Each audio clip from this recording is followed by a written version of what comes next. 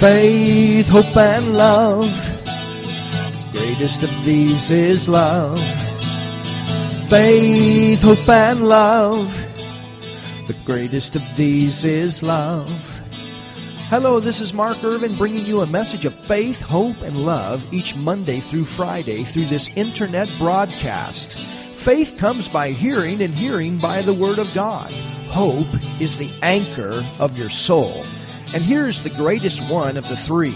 You have a Father God who really loves you and cares for you. Yes, that's right. You were created to be loved by God. So listen each Monday through Friday. Tell your friends. Get your Bible.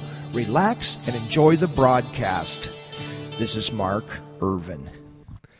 Well, praise God. This is Mark Irvin. I'm so glad to be with you again to bring you another message of faith, hope, and love. And today we are continuing on with our series, The Faith Life.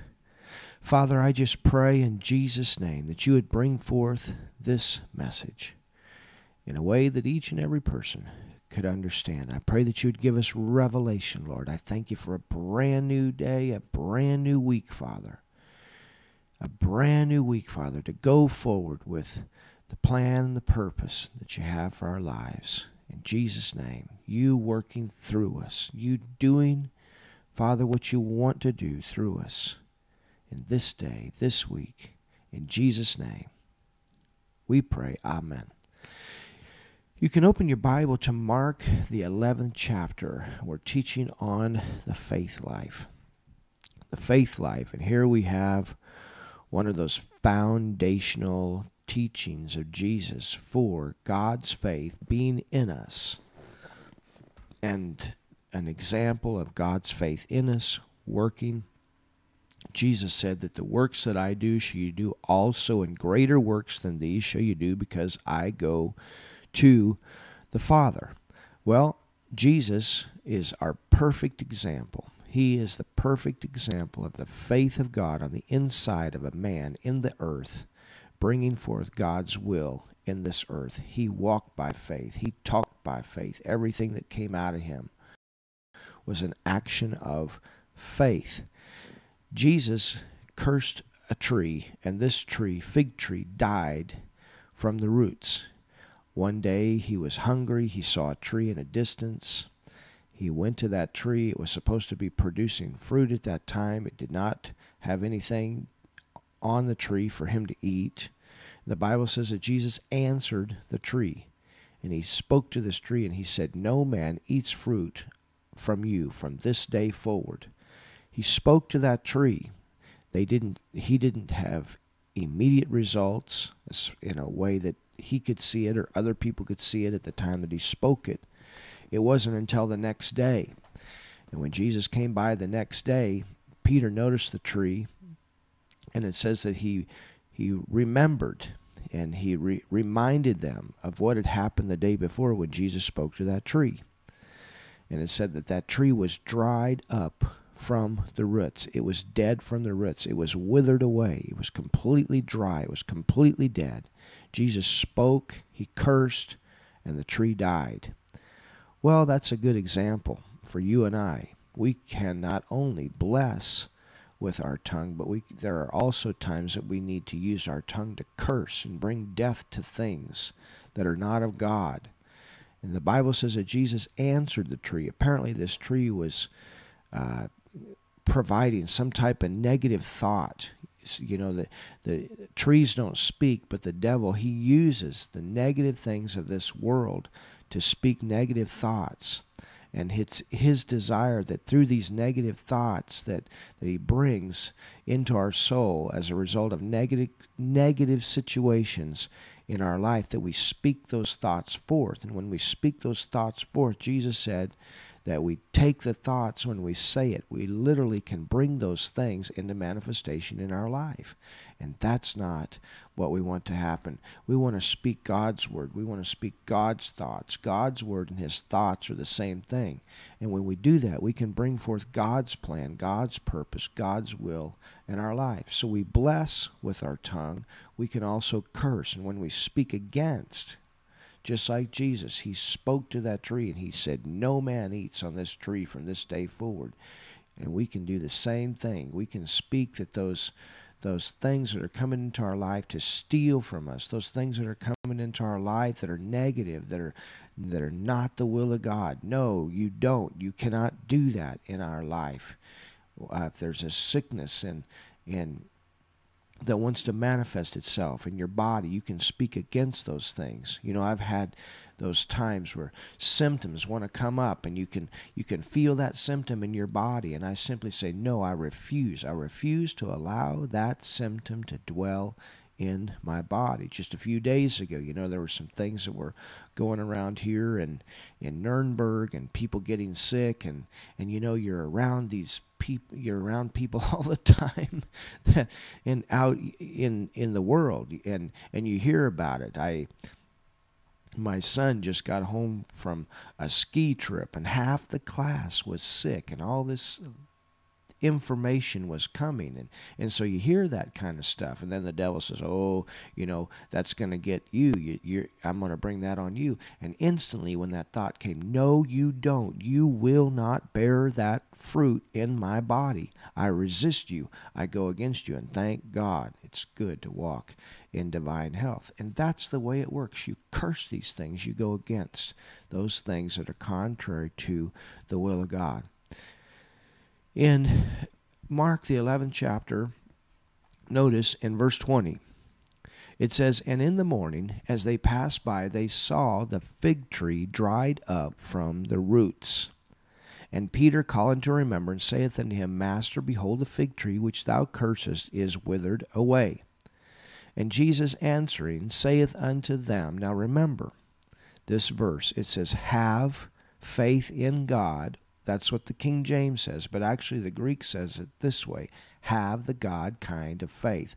I don't know why they didn't translate that properly. I guess that uh, they you know they didn't have the the revelation of of the fact that God's faith can really be on the inside of man and that's exactly what this verse is saying. This verse is saying, and, and in the footnotes of many Bibles, it even says that, that, that this should have been translated, have the God kind of faith.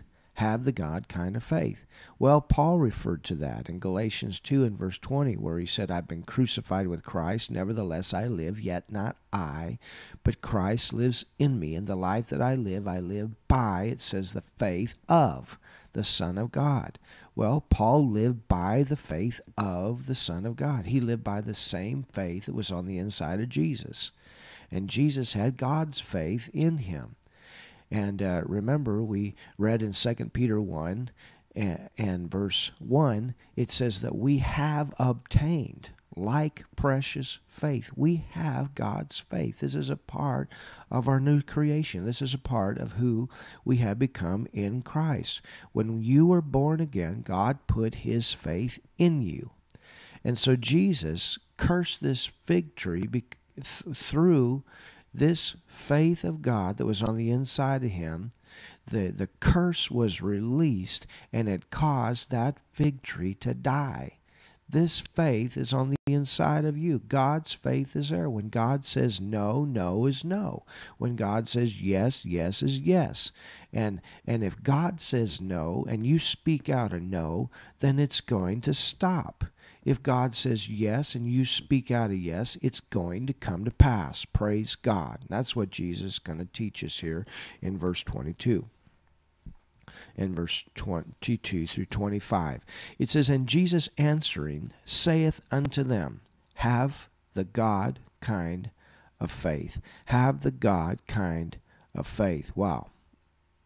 For verily I say unto you, that whosoever, now notice it doesn't say whosoever apostle, whosoever prophet, whosoever pastor or you know a great uh, man of God that you know that that uh, you say wow that person has done great great things. I'm going to tell you something. That person that has done great great things started small.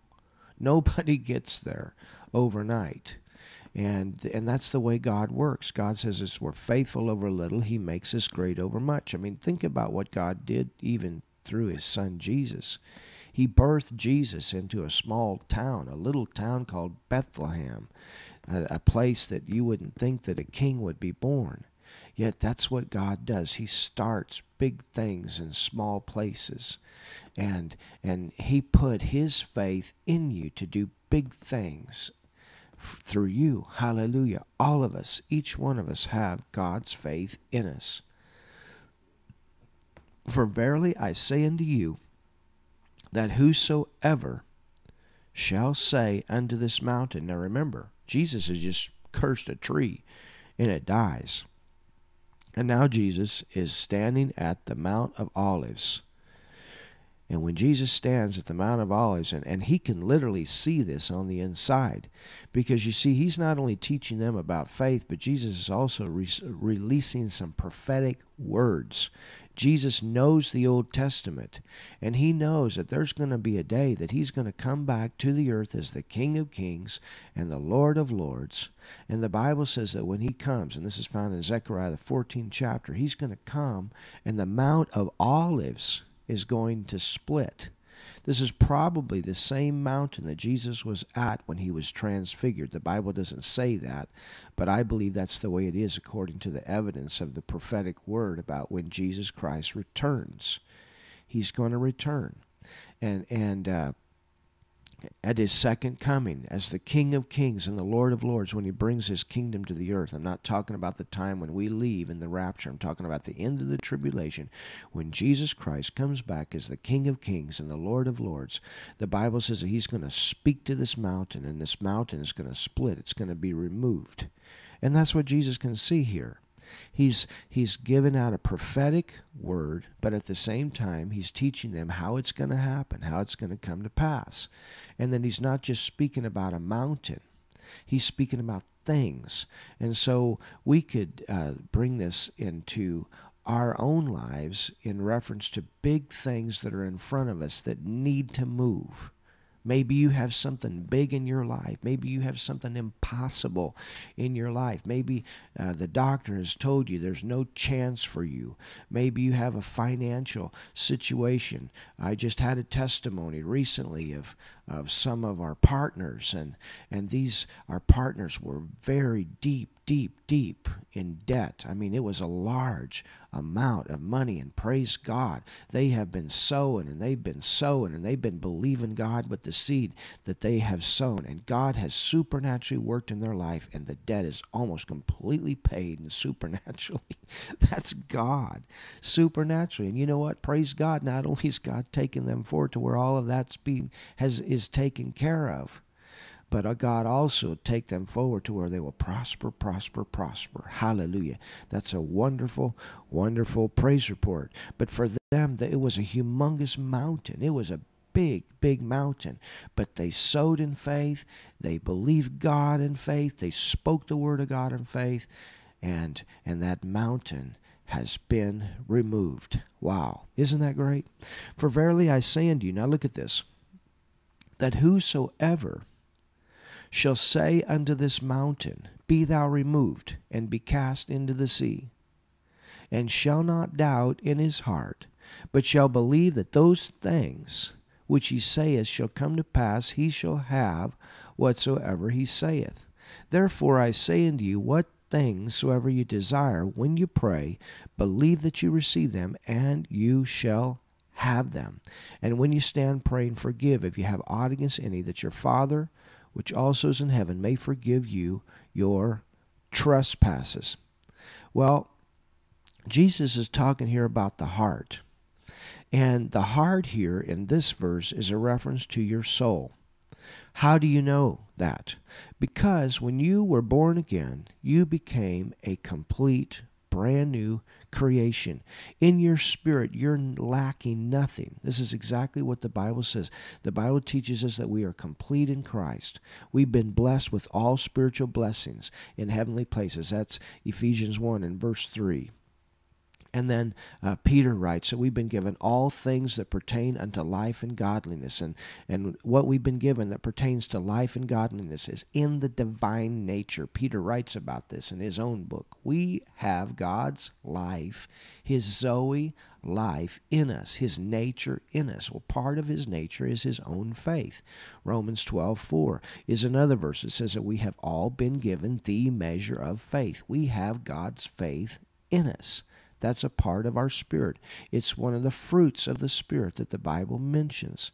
And so this faith is in us, it's in our spirit. You never have a faith problem in your spirit. God never has a problem believing his own word. and that ability is there. It's in you to believe the word.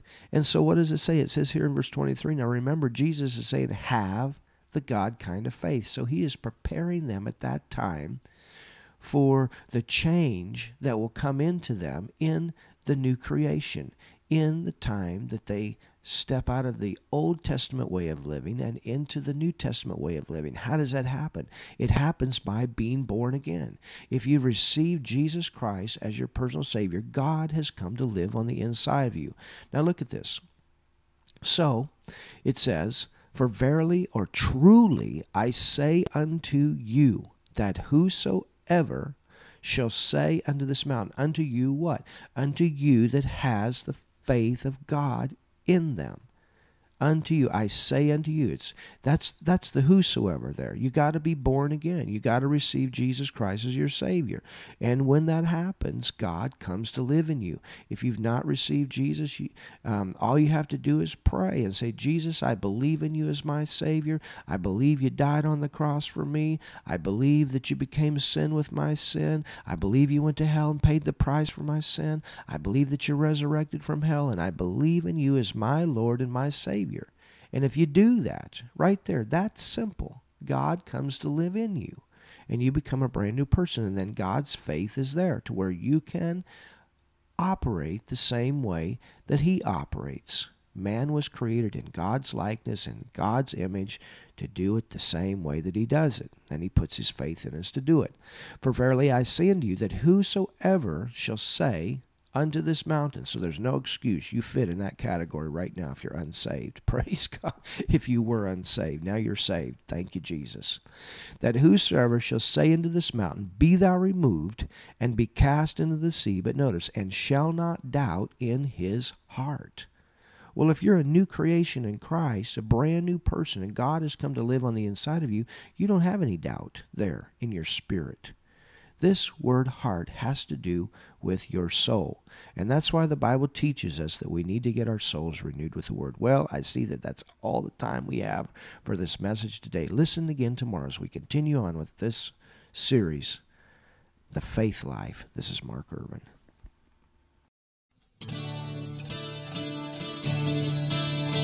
Faith, hope, and love. Greatest of these is love faith, hope, and love. Well, this is Mark Irvin. I'm so glad you got to be with us today. If you've never prayed and received the Lord Jesus Christ as your personal Savior, I want to give you an opportunity. It's the most important thing you'll do in your life. This is the way that you can go to heaven. This is the way God becomes your Father. So just pray this prayer with me right now if you've never received Jesus as your Savior. Jesus, right now, I believe in you. Jesus, you died for me. Jesus, you paid the price for my sin. Jesus, you resurrected. Jesus, you are my Lord.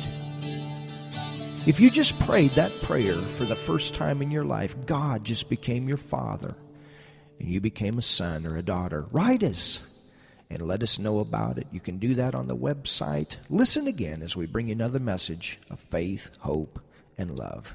This is Mark Irvin.